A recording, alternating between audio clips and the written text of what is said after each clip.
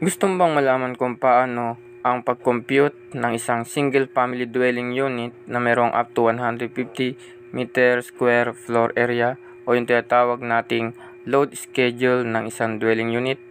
Kaya tapusin mo ang bidong ito kaya share ko sa iyo step by step kung paano ang computation at saang article ng Philippine Electrical Code.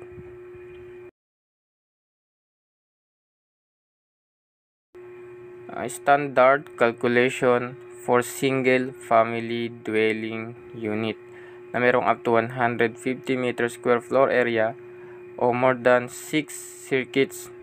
At ngayon naman ipapakita naman natin kung ano-ano ang mga load ng ating dwelling unit.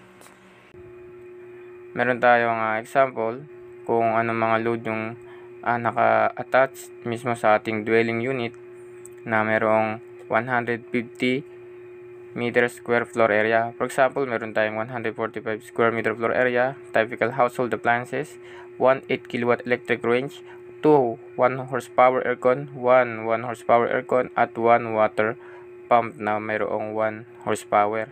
Una natin kukuhain ay ang circuit number 1 sa general lighting. Sinasabi dito na ang dwelling unit ay mayroong 24 volt ampere. So, kung meron tayong 24 volt ampere, i-multiply lang natin siya sa uh, floor area. 145 meters squared floor area times 24 volt ampere is equals to 3,480 volt ampere. So, ang 3,480 volt ampere ay divide natin sa 230 volts is equals to 15 amperes. Gagamit tayo ng 20 amperes over current protective device o ang breaker at 3.5 mm squared conductor na wire. At ito ay makikita natin sa table 3.10.2.6b16. Makikita din sa table na to na ang gagamitin nating wire para sa 20 amperes circuit breaker ratings na dito na 60 degrees Celsius TW ay gagamitin nating 3.5 mm squared. Dito natin makikita lahat ng conductor size.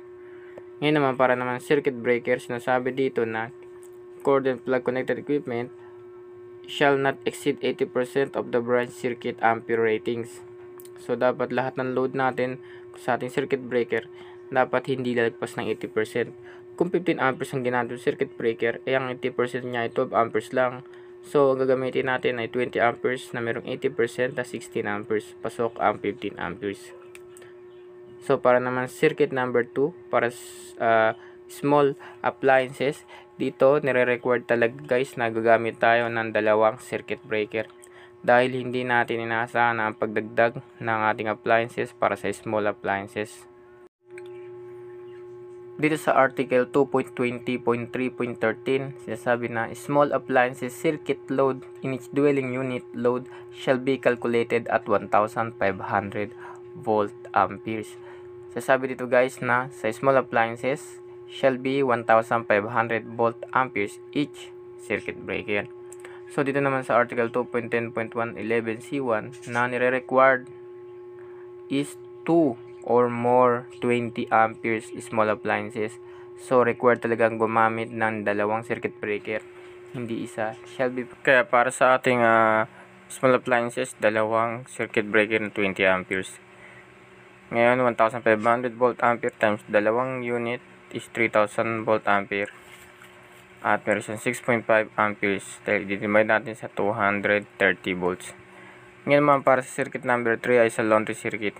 Sinasabi dito sa laundry circuit ay not more, not less than 1,500 volt ampere shall be include for each two wires. So para sa laundry circuit natin, gagamit tayo based dito sa table article 2.10.1.11c2 na isang 20 ampere branch circuit. So kung 1500 volt ampere divide 230 volts is 6.5 lang.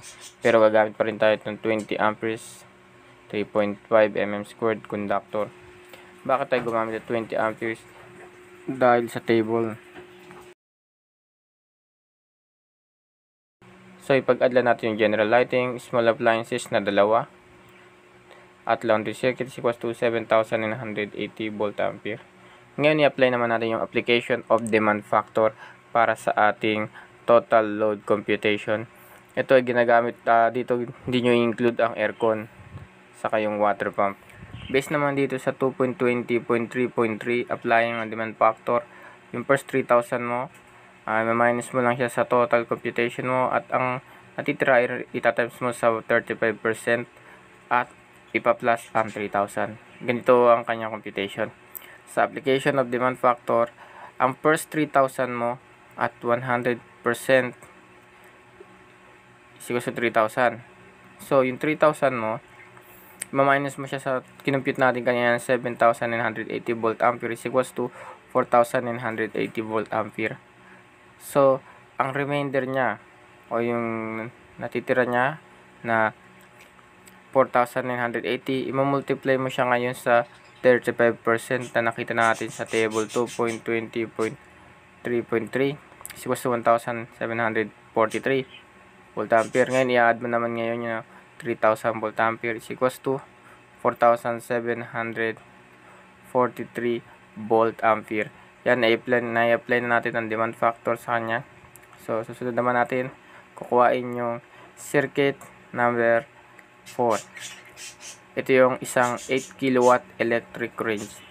Para makuha natin ang circuit breaker at size ng 1 ating electric range, mag-refer tayo dito sa table 2.20.3.16 sabi dito na ang isang uh, electric range based dito sa column B dahil ang ating electric range ay 8 kilowatt makikita natin na meron siyang demand factor na 80% kung ang electric range mo ay mas mababa sa 3 kilowatt doon tayo sa column A pero ang atin ay 8 kilowatt doon tayo sa column B na merong 80 kilowatt uh, para sa kanyang demand factor na 18.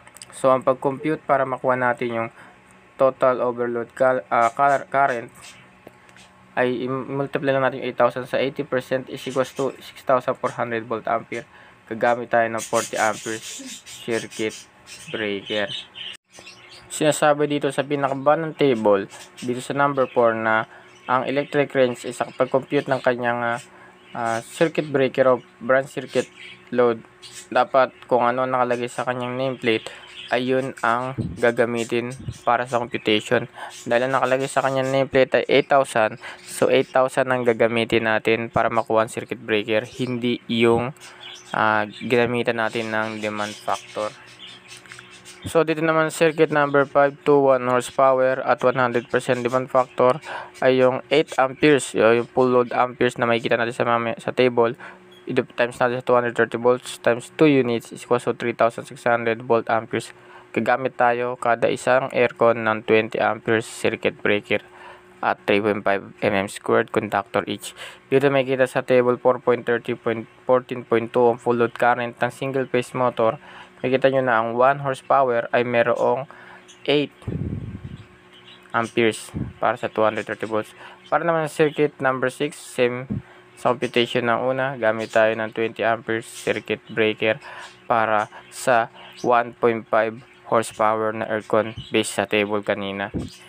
Dito naman tayo sa circuit number 7, same computation din, 1 horsepower water pump na mayroong 8 amperes full load current at 100% demand factor, mayroong 1840 volt ampere. Ngayon nagagamitin natin overall, gagamit tayo ng sham na 20 amperes over current protected device at isang 40 amperes each branch circuit.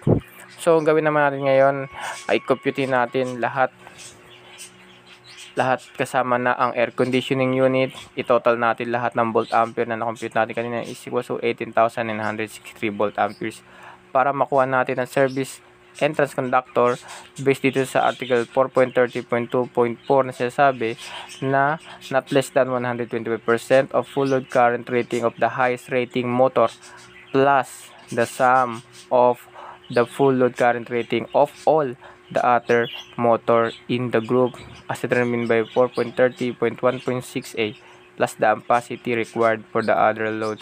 Sinasabi dito na compute natin total lahat at i-plus yung pinakamalaking motor yung 25% niya. So, kukuha mo yung pinakamalaking motor at itatimes mo sa 25% at makukuha mo yun at i-add mo siya sa lahat ng computation mo.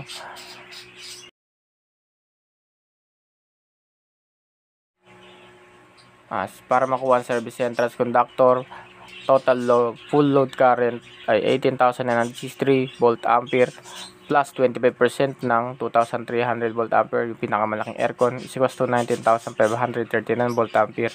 So 19,539 volt ampere divided sa 230 volts is equals to 84,000 ay 84.9 amperes. Gagamit tayo ng 20, uh, 22 mm squared conductor based dito sa table 3.10.2.6 B16 at 720 degrees Celsius dahil may motor.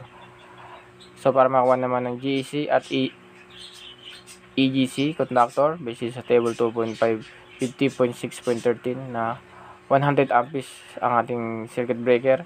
Copper gagamit tayo ng 8 mm squared para sa ating EGC o equipment grounding conductor. Ito yung conductor na mula sa ating circuit breaker papunta sa ating uh, pang distribution panel. At hanggang first distribution panel ito naman ang grounding electrode conductor ang ground uh, conductor na nakatap mula sa ating first distribution papunta sa ating grounding electrode. Napaka-importante na malaman natin yung mga size ng ating grounding conductor para sa safety ng ating equipment para sa safety ng ating pamilya at ng ating sarili. Ngayon, ang conductor natin para sa EGC ay 8mm squared. Para naman sa GEC o grounding electroconductor, gamit tayo ng 8mm squared.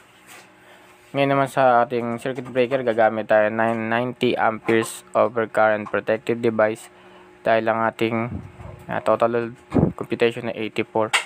So para sa lighting circuit, gamit tayo 20 amperes. Small appliances, gamit tayo dalawang 20 amperes over current protective device. Laundry, 20. Electric range, 40. 2 unit aircon, dalawang 20. Uh, at 1.5, isang 20. Para naman sa service center conductor, gamit tayo 20mm squared, EGC, 8mm squared conductor, GEC, 8mm at main breaker na 90 amperes over current protective device. So, nakuha natin ng mga circuit breaker sa ating system na uh, ginamitan natin standard at uh, demand factor based sa ating uh, table and articles na nakita sa Philippine Electrical Code. So kung nakatulong ang aking videos at nakakuha kayo ng kaalaman, huwag kalimutang uh, i-like, subscribe at click na rin ang notification bell para laging updated sa mga susunod kong videos. Thank you, keep safe and God bless.